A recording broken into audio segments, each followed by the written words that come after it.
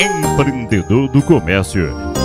Em cada canto da cidade, teu trabalho está presente.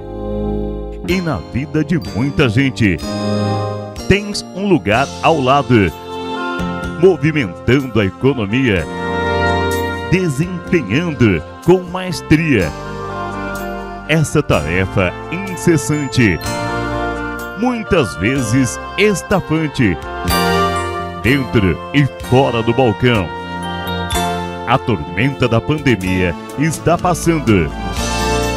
E com a porta aberta, você volta a estar contornando a adversidade e lutando pela nossa região e pelo nosso comércio regional.